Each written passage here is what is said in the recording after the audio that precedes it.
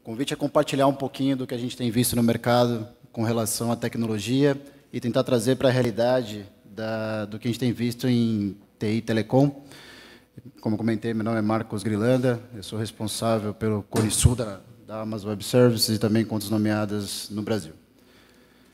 Muito bem, o que a gente tem visto que vem por aí, muito provavelmente, boa parte desses dados os senhores já conhecem, é que 100% das aplicações empresariais vão ter algum tipo de aplicação mobile até o próximo ano. Algum tipo de aplicativo que vai estar no celular de vocês. Hoje a gente vê aplicativo para tudo. Né? Para encomendar comida, encontrar namorado, tem um aplicativo. E cada aplicativo desse puxa, em média, seis APIs. E só metade dessas APIs são providas pelos fornecedores dos aplicativos. Ou seja, a área de TI de vocês vai ter que desenvolver um caminhão de APIs. Isso é um grande volume que vai acontecer dentro da área de tecnologia das empresas de vocês. 90% de todos os dados foram gerados nos últimos dois anos. Isso significa uma volatilidade e uma velocidade incrível de criação de dados. Muito se falou aqui sobre Big Data, e é um dos tópicos que a gente vai tomar um pouquinho mais à frente.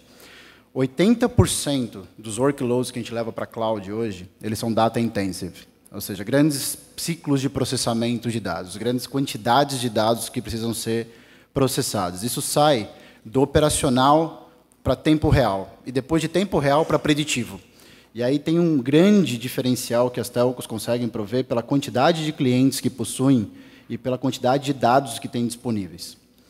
E por fim, 75 bilhões de dispositivos vão estar conectados na internet até 2020. Isso dá uma média de quase 10 dispositivos por pessoa. Então, desde a sua casa ao cachorro, ao celular, vai estar conectado à internet. E muito se falou aqui também do que a IoT vai fazer em cima disso. A diferença é como processar e tirar valor disso. 50% disso vai ser lançado em cloud computing. Então, 50% de tudo que vai acontecer em 2020 já vai ser lançado dentro de cloud computing. Cloud removeu a barreira tecnológica de entrada. Antigamente, capital era um grande diferencial que as grandes companhias tinham para se defender dos entrantes. Uma grande companhia podia colocar dinheiro para ser um diferencial. Cloud Computing jogou essa barreira abaixo.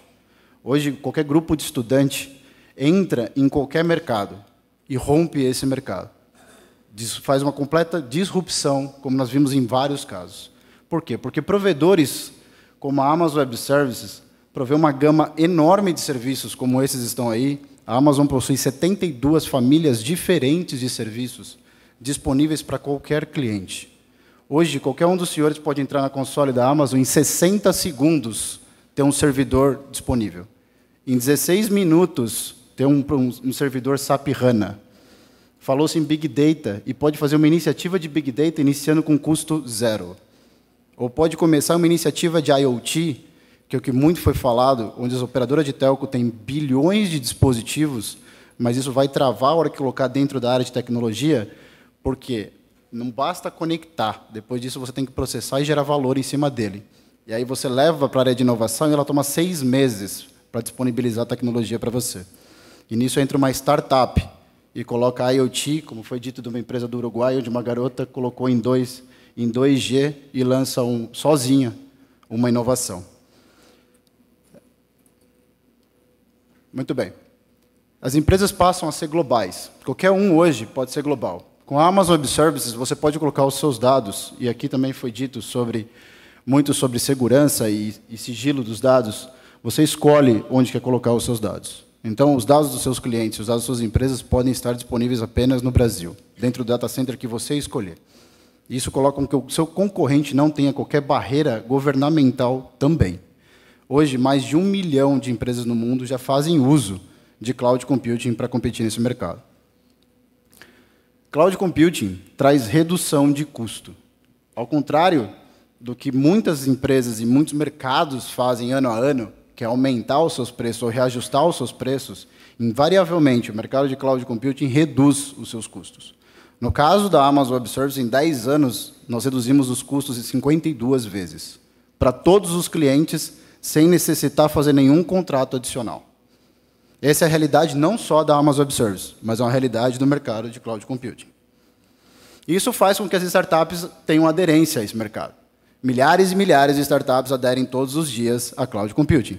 Startups como, por exemplo, a Ethermax na Argentina, onde dois garotos criam uma empresa de jogos, um joguinho que chama Trivia Crack, quiser alguém de vocês aqui joga, que tem 250 milhões de downloads no Apple Store e 25 milhões de pessoas jogam todos os dias. Dois garotos colocam esse jogo na, na internet e os seus servidores estão espalhados pelo mundo, todos em cloud computing. E são pouquíssimos servidores que colocaram essa empresa no ar. Assim como a Easy Taxi ou a 99 Taxi que nasceram no Brasil, ou a Nubank, que faz uma disrupção no mercado financeiro e que em sete meses cria um cartão de crédito e passa a incomodar os grandes bancos. E que a cada novo lançamento cria toda uma nova infraestrutura.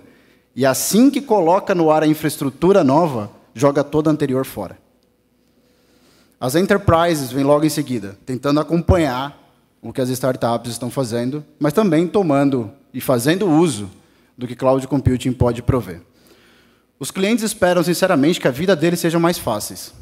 E numa conversa com um grande executivo de uma das maiores empresas de telecom da América Latina, o que ele disse é que no futuro ele espera que a empresa dele seja uma Netflix que a empresa dele seja uma Amazon. E a Amazon hoje nada mais é do que um grande império digital, onde a gente entrega não só mais um site de e-commerce, onde a gente entrega dezenas de serviços diferentes, todos fundamentados em tecnologia. Desde a Amazon Web Services, que nós estamos falando de cloud computing, até a entrega de música, a entregas de itens de primeira necessidade, ou arquivo de fotos, ou entregas rápidas, ou métodos de pagamento. Hoje a Amazon nada mais é do que um império digital. A questão que fica para todos vocês é construir dentro de casa ou utilizar aquilo que está pronto. Vários clientes do mercado de TI e telecom passam a utilizar ao invés de criar dentro de casa. A Xiaomi, por exemplo, fez todo o seu marketplace de aplicativos com a Amazon Web Services. A TCL fez todo o firmware de atualização dos seus celulares disponível em cloud. A Ericsson coloca todas as aplicações SaaS em cloud. A Tandiran, que é um call center, moveu todos os seus 25 milhões de usuários para cloud. A Vodafone tinha um desafio enorme, que é como colocar na Austrália o jogo de cricket, onde milhões de pessoas queriam assistir aquilo através do celular durante quatro horas. Colocou tudo em cloud. Não diferente deles, a Globo fez isso no Brasil para fazer a Copa do Mundo. Milhões de pessoas queriam assistir o jogo da Copa do Mundo pelo celular. O que ela fez? Utilizou Cloud Computing com a Amazon Web Services. A NTT Docomo fez a mesma coisa com uma inovação de comando de voz. A área de inovação coloca todo um projeto de reconhecimento de voz e bot em cloud. A FS, uma empresa nacional, que quizá muitos de vocês aqui utilizam, desenvolve aplicações para o mercado de telecom, faz tudo isso daí baseado em cloud computing por uma razão muito simples. Porque ela não sabe quanto vai ter de demanda. Ela pode lançar um aplicativo hoje e ter 100 milhões de downloads, como pode ter 50 mil. Isso é uma dificuldade em gerir uma infraestrutura. Então, utilizando o cloud, ela escala e reduz conforme necessidade. E empresas de data center, que têm data centers grandes, como muitos de vocês, como a Wall, por exemplo, entendem que acompanhar 722 lançamentos ao ano, que é como faz a Amazon Web Services até agosto desse ano, é difícil. E passam a fazer parceria, ao invés de construir o seu próprio. É isso que a gente tem visto para TI Telecom. Muito obrigado.